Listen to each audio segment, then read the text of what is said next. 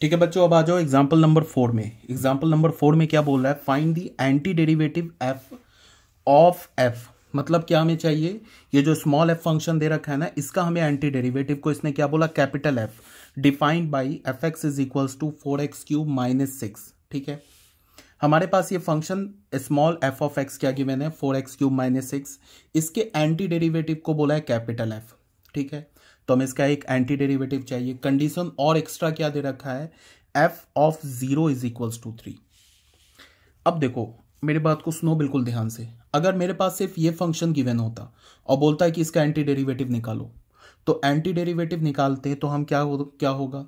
उस केस में हमें इस फ़ंक्शन के कितने एंटी डेरिवेटिव आ जाएँगे? इन्फानाइट एंटी डेरिवेटिव्स आ जाएँगे। उसमें से भी क्या बोला है कि अगर तुम उस इन्फानाइट एंटी डेरिवेटिव में ये कंडीशन लगा दोगे, ये क्या बोल रहा है? कि वो जो इन्फानाइट एंटी डेरिवेटिव होगा, उसमें एक ऐसा एंटी डेरिवेटिव होगा जिसमें तुम एक्स का वैल्यू ज़ीरो डाल दोगे ना तो वाई का वैल्यू थ्री आ जाएगा। नहीं रही है बात समझ में इसको तुम ऐसे देखो। ये जो मैंने तुम लोग को ज्योमेट्रिकल इंटरप्रिटेशन बताया था ना, ये देखो। इसको मेरे बात को ध्यान से सुनो। ये जो मैंने तुम लोगों को बताया था, इसमें क्या है कि हमारे पास फ़ंक्शन क्या है? F X is equal to two X function है। इसके कितने एंटी डेरिवेटिव होंगे? इन्फानाइट एंटी डेरिवेटिव्स होंगे। ठीक है, देख लो यहाँ पे। इन सारे इन्फानाइट एंटी डेरिवेटिव्स को मैंने यहाँ पे ड्रॉ कर रखा है। ठीक है, इसके बीच में भी लाखों पैराबोला बचा हुआ है। बिकॉज़ ये क्या है? ये तो हमने इसको वर्टेक्स को ज़ीरो पे माना है, यहाँ पे वन माना। ज़ीरो से वन के बीच में इन्फानाइट पॉइंट्स है। वो सारे पॉइंट्स वर्टेक्स हो सकते हैं। यहाँ पे तुम सी का वैल्यू अगर डालोगे ना वन अपॉइंट टू तो एक पैराबोला ऐसे भी तो बन जाएगा वन अपॉइंट टू से पास करता हुआ। तो मैंने कुछ पैराबोलाज बनाए। यहाँ पे वाई एक्सिस पे कितने पैराबोलाज बनेंगे? इन्फानाइट पैराबोलाज कहने का यहाँ पे ये मतलब है कि ये जो एंटी डेरिवेटिव है एक्स स्क्वायर प्लस सी ये जो टू एक्स का जो एंटी डेरिवेटिव है एक्स स्क्वायर प्लस सी ये किस, क्या रिप्रेजेंट कर रहा है? इनफानाइट एंटी डेरिवेटिव को रिप्रेजेंट कर रहा है, जिसके यहाँ पे कर ड्रॉ है। ठीक है? अब मैं अगर इस फ़ंक्शन में, जैसे मान लो कि ऐसे, हमारे पास क्या दे रखा है? ये ऐसे फ़ंक्शन दे रखा है। एफ़ ऑफ़ सी एक्स क्या दे रखा है? एक्स स्क्वायर प्लस सी ये क्या दे रखा है? ये एंटी डेरिवेटिव दे रखा है किसका? टू एक्स का। अगर मैंने अब बोला क्या कि इस एंटी डेरिवेटिव में बोला कि जब तुम एक्स का वैल्यू ज़ीरो डालोगे एंड वाई का वैल्यू ज़ीरो डालोगे मतलब ऐसे बोला। एफ़ ऑफ़ यहाँ पे c और यहाँ पे क्या है? X का वैल्यू ज़ीरो तो यहाँ पे हमें क्या मिल जाएगा? ज़ीरो अगर मैंने बोला कि उस एंटी डेरिवेटिव c को एक मिनट के लिए हटा दो कन्फ्यूज़न अभी क्रिएट होगा। ठीक है? अगर मैंने बोला कि f of zero is equals to zero मतलब कि इस इन्फानाइट एंटी डेरिवेटिव में एक ऐसा एंटी डेरिवेटिव फ़ंक्शन है जो इस कंडीशन को भी सेटिस्फाई कर रहा है तो वो एक यूनिक एंटी डेरिवेटिव होगा, इसको ध्यान में रखना है। ये तो इन्फानाइट एंटी डेरिवेटिव है। उसमें भी एक ऐसा एंटी डेरिवेटिव है जो इस कंडीशन को सेटिस्फाई कर रहा है। जिसमें तुम एक्स का वैल्यू ज़ीरो डालोगे तो वाई का वैल्यू ज़ीरो आ जाएगा। तो बताओ वो एंटी डेरिवेटिव कौन सा है? तो कोई बात नहीं, निकाल लेंगे। ये हमारा दे रखा है ना एंटी डेरिवेटिव इसमें हमने एक्स की जगह ज़ीरो डाला। ठीक है? तो हमें यहाँ भी ज़ीरो डाल दिया प्लस सी तो क्या बोल रहा है? एफ़ ऑफ़ ज़ीरो क्या हमारा? एफ़ ऑफ़ ज़ीरो भी तो ज़ीरो तो इसकी जगह हम क्या लिख सकते हैं? ज़ीरो और यही एफ़ ऑफ़ ज़ीरो वाई है ना?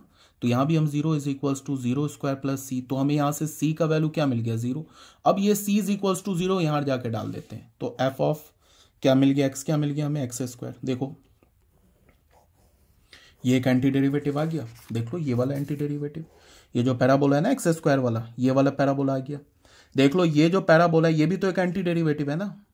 अब ये एंटी डेरिवेटिव में क्या खूबी है? इसके तो इन्फानाइट एंटी डेरिवेटिव्स हैं। बट इस एंटी डेरिवेटिव में क्या खूबी है? कि जब तुम x का वैल्यू ज़ीरो डालोगे तो y का वैल्यू भी ज़ीरो हो जाएगा। मतलब कि ये किससे? ज़ीरो कॉमा ज़ीरो से पास करेगा। देख लो, कर भी रहा है ज़ीरो कॉमा ज़ीरो से पास अब अगर मैं तुम्हें बोलूँ कि x और y का कंडीशन बताओ कि ये वाला एंटी डेरिवेटिव आ जाए एक्स स्क्वायर प्लस टू आ जाए, ठीक है तो उसको भी हम कर सकते हैं। मान लो कि हमारे पास इन्फानाइट एंटी डेरिवेटिव क्या गिवन है?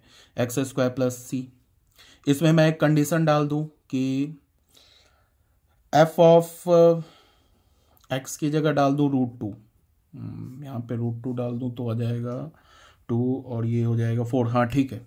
एक्स की जगह रूट टू डाल दूँ और एफ़ ऑफ़ रूट टू जो वाई के इक्वल होता है, उसको मैं फोर कर दूँ।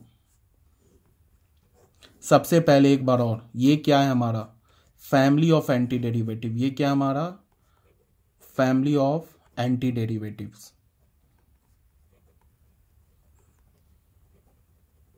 किस फ़ंक्शन का? F X is equals to two X का।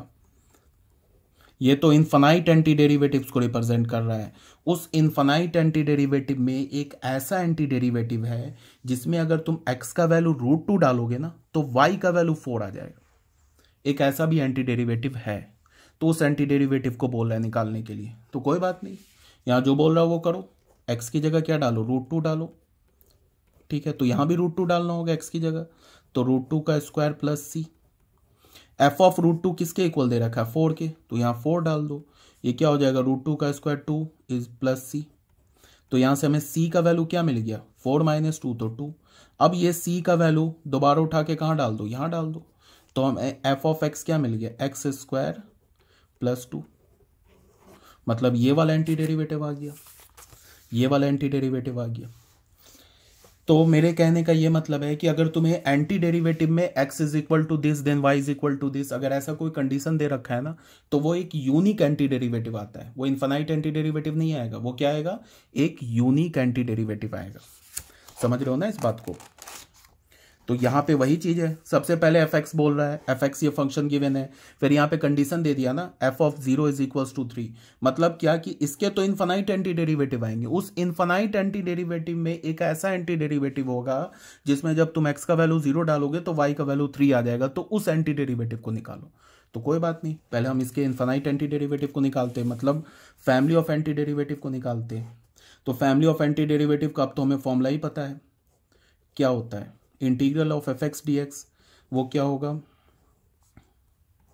Four X cube minus six D X कर लिया, इसको अलग अलग कर लिया, क्या हो गया? Four X cube D X minus six D X, ऐसे कर लिया। अब ये क्या होगा? फोर बाहर आ जाएगा तो ये क्या होगा? सॉरी दिस इज़ फोर यहाँ से इसको फोर बाहर कर लिया हमने कांस्टेंट को तो बाहर कर लेंगे ना तो क्या हो जाएगा? एक्स क्यूब डी एक्स और ये भी कांस्टेंट है तो ये बाहर आ गया सिक्स तो यहाँ क्या बचा? वन तो वन इंटू डी एक्स तो ये हो गया फोर इस पे कौन सा फॉर्मूला लगेगा? X to the power N का। क्या होता है इंटीग्रल का? X to the power N का फॉर्मूला क्या होता है? यही होता है ना? Integral of X to the power N D X ये क्या होता है? X to the power N plus one upon N plus one plus C ये होता है ना? तो यहाँ पे क्या होगा? X to the power three plus one upon three plus one minus six one का इंटीग्रल क्या होता है एक्स और फाइनल लास्ट में हम क्या करेंगे? सी ऐड कर देंगे। ये फोर और नीचे का फोर ये कैंसिल हो गया तो क्या हमें मिल गया? एक्स क्यूब सॉरी कुछ गड़बड़ कर दिया है सॉरी यहाँ पे प्लस वन है। ठीक है? तो ये क्या हो गया? ये फोर ये फोर कैंसिल हो गया। तो हमें क्या मिल गया? X to the power four X to the power four minus six X plus C. ये क्या मिला? हमें एक ये फैमिली ऑफ़ एंटी डेरिवेटिव, ये क्या हमारा? Family of antiderivative.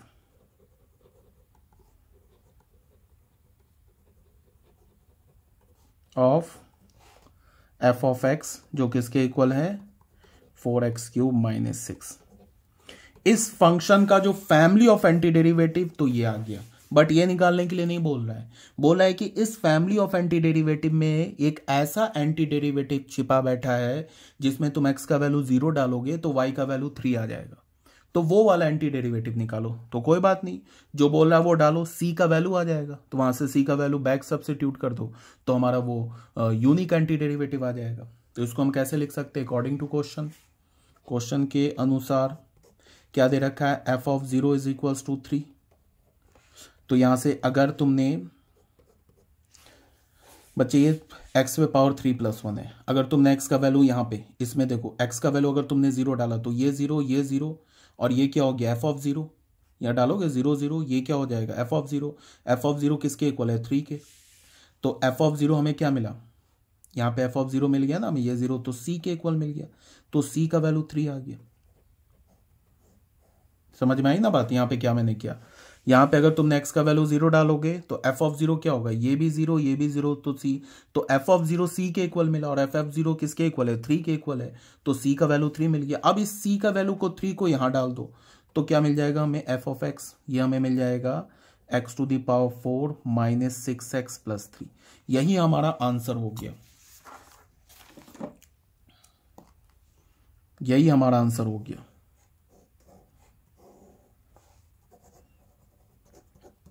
एक बार और, एक मिनट में। यहाँ पे क्या बोल रहा है एक्चुअली में क्या बोल रखा है कि हमारे पास एक फ़ंक्शन गिवन है, ठीक है? बोल रहा है क्या है कि find the anti derivative F इस फ़ंक्शन का एंटी डेरिवेटिव निकालो, कैसा एंटी डेरिवेटिव निकालो, जिसमें तुम एक्स का वैल्यू ज़ीरो डालोगे तो वाई का वैल्यू थ्री आ जाएगा। तो हमने क्या किया, सबसे पहले इसके फैमिली ऑफ़ एंटी डेरिवेटिव को निकाल लिया। जो हमें मिला क्या? X to the power four minus six x plus C अब कंडीशन क्या दे रखा है कि एक्स का वैल्यू ज़ीरो डालेंगे तो वाई ये वाई थ्री आ जाएगा। तो यहाँ पे हमने इस कंडीशन को सेटिस्फाई किया। तो जैसे ही कंडीशन सेटिस्फाई करेंगे ना, इस कांस्टेंट का वैल्यू आ जाएगा। यहाँ पे हमने एक्स का वैल्यू ज़ीरो डाला तो एफ़ ऑफ़ ज़ीरो क्या मिला? Zero minus zero plus C तो एफ़ ऑफ़ ज़ीरो हमें सी मिला और एफ़ ऑफ़ ज़ीरो किसके इक्वल है? थ्री के इक्वल है। तो सी का वैल्यू थ्री मिला। अब इस थ्री को दोबारा यहाँ डाल दिया। तो ये यूनिक आ गया। एक यूनिक एंटी डेरिवेटिव आ गया। एक सिंगल एंटी डेरिवेटिव आ गया। ठीक है? अब इस एंटी डेरिवेटिव में क्या स्पेशलिटी है? ये भी एंटी डेरिवेटिव है इस फ़ंक्शन का। ये भी इस फ़ंक्शन का एंटी डेरिवेटिव है। अब इस एंटी डेरिवेटिव में क्या स्पेशलिटी है? कि ये एंटी डेरिवेटिव जो है ज़ीरो कॉमा थ्री पॉइंट से पास भी कर रहा है। ये पॉइंट एंटी डेरिवेटिव डाल के देख लो। एक्स का वैल्यू ज़ीरो डालो तो वाई थ्री आ जाएगा। देख लो डाल के। यहाँ पे एक्स का वैल्यू ज़ीरो डालोगे ना तो एफ़ ऑफ़ ज़ीरो क्या मिलेगा? Zero minus zero plus three और एफ़ ऑफ़ ज़ीरो क्या होता है? वाई होता है ना। तो इसका मतलब क्या होगा कि ये जो फैमिली ऑफ़ एंटी डेरिवेटिव है, वो ज़ीरो कॉमा थ्री पॉइंट से पास भी कर रहा है। ये इसका मतलब हुआ। ठीक है? तो समझ में आ गया होगा। ठीक है बच्चों, ये हो गया हमारा एग्ज़ाम्पल नंबर वन भी हो गया टू थ्री एंड फोर इसके बाद हम लोग नेक्स्ट में आते हैं रिमार्क्स एनसीईआरटी में कुछ रिमार्क्स दे रखे हैं। ठीक है? उसको मैं बता दे रहा हूँ। एनसीईआरटी काफ़ी इंपॉर्टेंट बुक है। इसके हर एक, इसमें क्या बोलता हूँ? हर एक वर्ड में मीनिंग छिपा होता है। तो उसके लिए करना क्या होगा कि हमें काफ़ी बारीकी से एनसीईआरटी बुक का अगर तुम स्टडी करोगे तो बहुत कुछ इसमें मिल जाएगा। ठीक है? तो नेक्स्ट वीडियो में हम लोग क्या स्टार्ट करेंगे? इसके रिमार्क्स स्टार्ट करेंगे, उसके बाद फिर हमारा एक नेक्स्ट टॉपिक है comparison between differentiation and integration उसे करेंगे फिर exercise seven point one okay